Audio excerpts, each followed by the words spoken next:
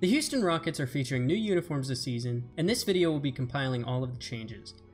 The Rockets changed their uniforms one year ago, but there are still new changes being introduced today, with an entirely new jersey.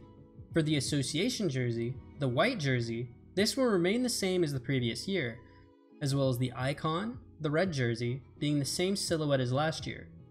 For the statement jersey, most of the details remain the same, but the Nike logo on the right breast will change to a Jordan brand logo, this is a change that is taking place across the league for all statement jerseys. For the fourth jersey, the Rockets have introduced a new jersey color that has not been featured as their primary color on a jersey ever. This is a light blue jersey with H-Town across the front, featuring the color of the Houston City flag, as well as the Houston Oilers, the NFL team. Other than that, there aren't many details across the jersey, which is a shame to see as a lot of the other city jerseys feature many small details that show off the pride of the city.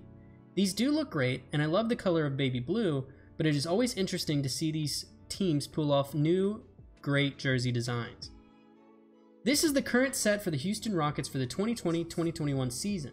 Now, classic jerseys and earned jerseys have not been revealed yet, however, when those do, those will all be featured in a single video.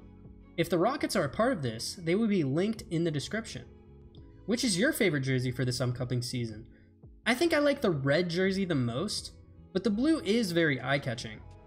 Also, if you haven't already, it would be awesome if you would like the video as well as subscribe, as I post NBA jersey content as much as I can and would love some opinions down in the comments.